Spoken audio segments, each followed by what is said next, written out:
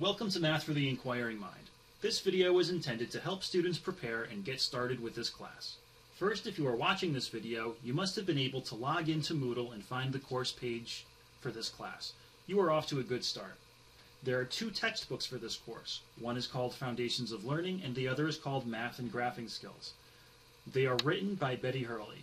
Here are the ISBN numbers. Back to the course page. There are three essential areas on the course page that students are responsible for checking. These three areas will most directly impact your grade in the course. Announcements, the course schedule, and the tab for the current module. If you have found this video, that means you have already found announcements. This is a great place to begin. Announcements provide the instructor with a way to present information to the whole class like a teacher at the front of the classroom.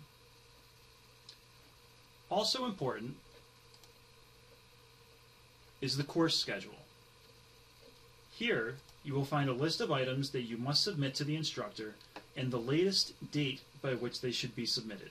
The items listed are generally graded. By checking the announcements board and the course schedule, you will see what work you should focus on completing at this time and when it needs to be completed. In the course schedule, you will see references to modules. A module is a part of the course. Some modules last for one week, and some modules last for two weeks. Once you have checked the course schedule to see what module we are currently working on, exit the course schedule. Then click the tab for that module to see that module's overview, assigned reading, discussion, and assignments. For example, here's Module 1.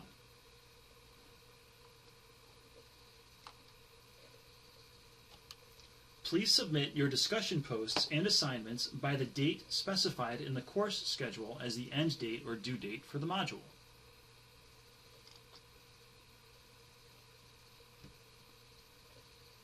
If you are watching this video before the course begins, you will see that we are currently in the preliminary part of the course.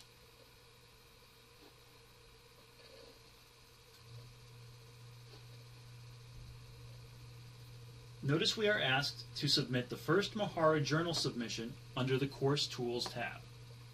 Let's check it out. Here's our course homepage, Course Tools.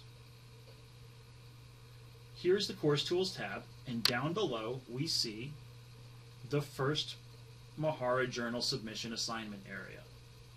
This is a great time to talk about the other online resources for this class, besides the course page. In this class, Math for the Inquiring Mind, you are asked to use two online resources in addition to the course webpage. One of these resources is Mahara. Mahara is an online resource that allows you to keep a working portfolio. Your login information for Mahara is the same as your login information for Moodle. Several courses use Mahara for various purposes. For this class, you will simply use Mahara to keep your journals.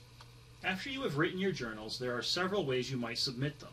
You might copy your journal into a Microsoft Word document and upload this document in the appropriate assignment area. You also may copy the content of your journal into the text box in the assignment area. Many students create a secret URL, which is a link to their Mahara page. There are tutorials for how to do this posted in Mahara.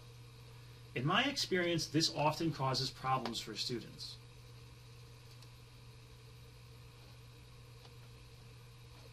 As we go back to the course page,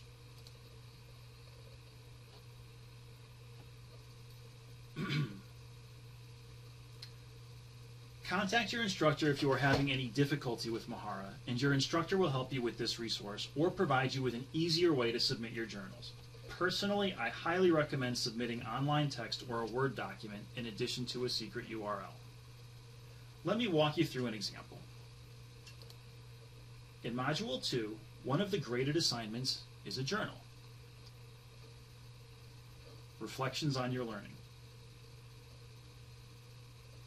Ideally, you will log into Mahara, write the journal entry, create a secret URL, which is a link to that journal page, and then paste this link in the text box for the assignment. Then I highly recommend that you paste the entire content of this journal entry into the text box as well. Personally, I have had several students in the past that have difficulty with Mahara, and I allow them to simply use Microsoft Word and upload these Microsoft Word documents to the assignment area. Ask your instructor. The other online resource you will use for this course is called Khan Academy. You will only use this for a few modules. For an example, let's take a look at Module 1. In Module 1, we are asked to read math modules 1 to 9 in our handy textbook, Math and Graphing Skills. Once you have read this part of your math textbook, you are asked to complete some work in Khan Academy.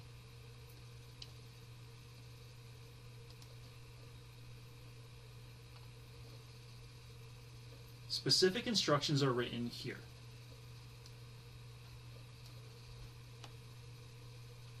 I recommend that you keep our course page open and click open a new tab and use this new tab to head over to Khan Academy's website. On Khan Academy, create your login information and log in, enter our class code, and begin working on the desired exercises. When you are done, you must go back to the assignment area on the course page. Here, you will find some questions to answer about what you learned.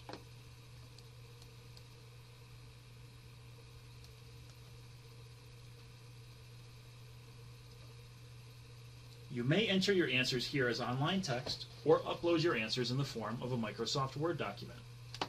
So, remember to check the announcements, course schedule, and the tab for the current module. To find out exactly what work you need to submit in, in each course module, there are specific directions for the assignments due in that module. In most of the modules, you are asked to complete a journal entry. You may use Mahara for this, or just enter online text, or upload a Microsoft Word document. This depends upon your instructor and what you. A few modules require you to use Khan Academy and answer some additional questions about your experience. Don't forget to answer the additional questions. Thank you for watching. I hope this helped. Have a great journey.